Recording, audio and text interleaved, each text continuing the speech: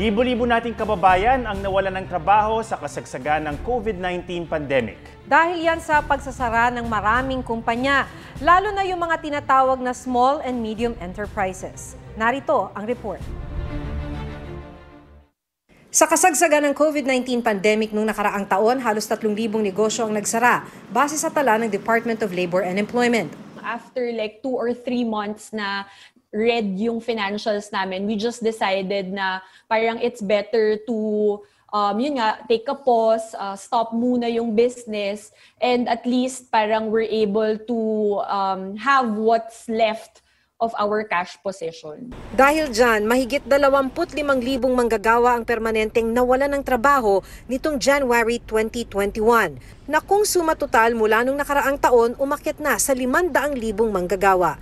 Pero hindi kasama ang mga manggagawa ng mga negosyong nag-temporary closure. Ibig sabihin, may balak pang muling magbukas pero habang sarado, wala namang sweldo ang mga empleyado. Mahigit 30,000 empleyado yan ng higit sa 1,000 negosyo.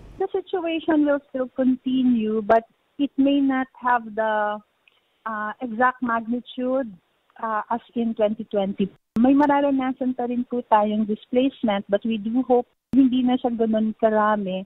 Ang solusyon ng DOLE, wage subsidy, kung saan aakuin ng gobyerno ang hanggang sa 50% ng minimum wage ng mga manggagawa ng mga micro, small, and medium enterprises. Pabor dyan ng grupong Ibon Foundation, pero kailangan din daw magbigay ng emergency cash assistance para may panggastos ang taong bayan. Ang pagsasara ng maraming negosyo nagresulta sa pagdami ng mga unemployed sa bansa. Ayon sa National Economic Development Authority, tumaas nga ang unemployment sa bansa dahil sa pandemya. We think that for uh, 2021 and even 2022, it's still about um, transforming actually the, the workforce so that it will be ready for the uh, challenges of the new normal.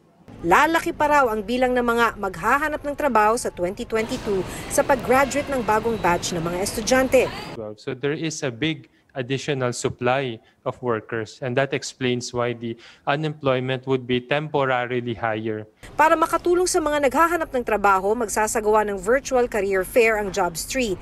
Katuwang ang iba't ibang ahensya mula February 17 hanggang 21. 55,000 na trabaho mula sa mahigit 120 na kumpanya ang maaaring applyan. Most of the jobs in the Philippines would have two options. The option that they can report to the office, but majority are giving options to work from home or virtually working from home. These are provided by companies or industries such as BPOs, um, sales and marketing. We also have um, openings for freelancing, project-based, and part-timers. And so most of these would really cater to those people who want to stay at home. Hirers are more open to fresh graduates. In fact, even high school graduates, as long as they are willing to work and you know they have the minimum standards that they are look uh, hirers are looking for.